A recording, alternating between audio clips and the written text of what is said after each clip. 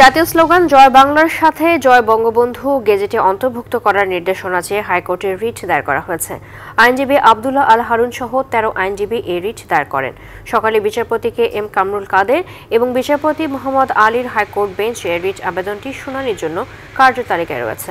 রিটকারী আইনজীবী বলেন, উনিশশো একাত্তর সালে মুক্তিযুদ্ধের সময় যখনই জয় বাংলা উচ্চারিত হয়েছে, সাথে সাথে জয় বঙ্গবন্ধু উচ্চারিত হয়েছে। স্বাধীনতার জন্য এই স্লোগান ছিল উৎসাহমূলক। জয় বাংলা আর জয় বঙ্গবন্ধু একটাই স্লোগান, পৃথক কোনো স্লোগান নয়। জয় বাংলা এবং জয় বঙ্গবন্ধু দুটি এক শব্দ, এক- একটি একটি অপরের পরিপূরক এবং একটি অবিচ্ছেদ্য।